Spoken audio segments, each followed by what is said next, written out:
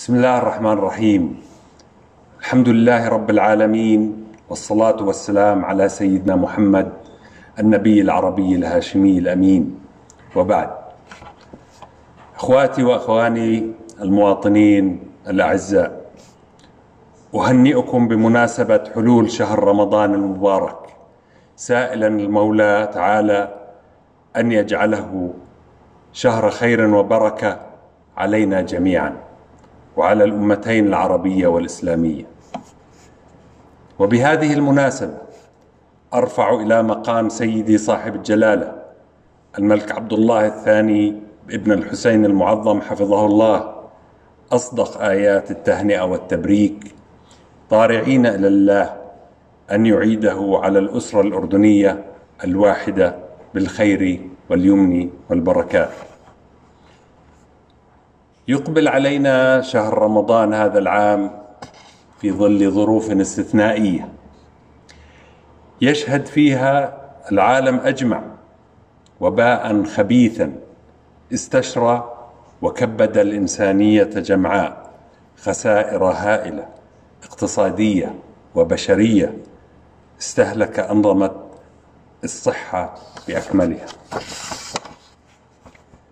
ولكننا بحمد الله نعيش معا تحت ظل الراية الهاشمية المظفرة أجواء احتواء هذا الوباء. في مركب يقود دفته سليل الدوحة الهاشمية جلالة الملك عبد الله الثاني حفظه الله وبتوجيهاته المباشرة ومتابعته المستمرة والحثيثة بأن نضع صحة المواطن وسلامته في صدارة اولوياتنا في ظل هذه الظروف تتجلى قيم شهر رمضان الفضيل فكما تعلمون الغاية من الشهر الكريم ليس الجوع والعطش بل تذكر نعم الله عز وجل وتهذيب النفوس والأرواح واللسان والصبر على الشدائد وتحمل المشقة والتحلي بروح الأخوة والتكافل والتآخي ومد يد العون إلى الضعيف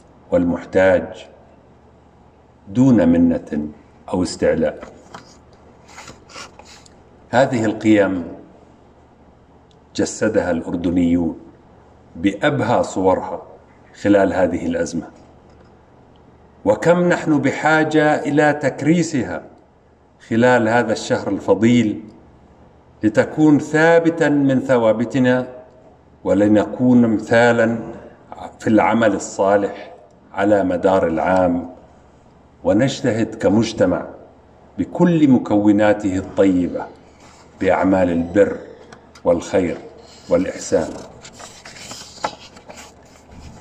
أخواتي وأخواني لقد علمتنا جائحة الكورونا دروسا عديدة. إذ زرعت فينا روح التحدي والتصميم والإنجاز وتحمل المشاق وعبرت عن حالة وطنية جامعة وعن عزم كبير بأن تستمر وتيرة الإنجازات على كل الصعد الاقتصادية والسياسية والاجتماعية وأن يكون للأردن دور فاعل في محيطه العربي والدولي. وخصوصا في تقديم المساعدة عالميا في مجال الرعاية الصحية وصناعة الأدوية والمستلزمات الطبية والغذائية. إن الظروف الاستثنائية التي نعيشها اليوم تتطلب قرارات استثنائية تسعى إلى التكيف المرحلي والتكافل فيما بيننا والمرونة والقدرة على التأقلم من خلال تقييم أدائنا لنرى أين نجحنا وأين أخفقنا بعين ناقدة متفتحة ومدققة في كل التفاصيل.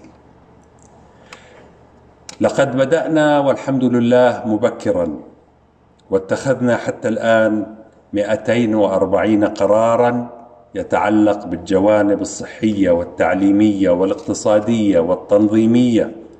والحماية الاجتماعية. وقد قدمنا نموذج نموذجا يحتذى في العديد من دول العالم. وبدأنا الآن مرحلة التخطيط للوصول إلى التعافي وتعزيز المناعه والاعتماد على الذات في الغذاء والدواء والتصنيع والريادة والإبداع. وسنستمر معا بقيادة جلالة سيدنا حفظه الله. ليتعافى وطننا الغالي ويصبح أكثر منعة وقوه أخاطبكم من القلب إلى القلب وأعلم أننا عانينا جميعا في سبيل الحفاظ على الوطن سالما معافا بعيدا عن الوباء. ونعلم حجم الظروف والتضحيات والوضع المعيشي الصعب. وما زلنا نراهن على وعيكم والتزامكم خلال المرحلة المقبلة. ففي هذا العام سنضطر للتخلي عن بعض التقاليد الاجتماعية الرمضانية المحببة. ولكن ندرك تماما وكلكم تدركون أن نجاحنا مرهون باستمرارنا إلى الأمام واستمرارنا بالالتزام والعمل معا والشراكة والتكامل فيما بيننا كفريق واحد وبإرادتنا على تذليل الصعوبات. والأهم أن نحافظ على شعلة التفاؤل التي ستنير لنا طريق المستقبل إن شاء الله. رمضان مبارك علينا جميعا. اللهم أهله علينا بالأمن والإيمان والسلامة والإسلام هلال خير ورشد وبركة. وكل عام وأنتم بخير والسلام عليكم ورحمة الله وبركاته.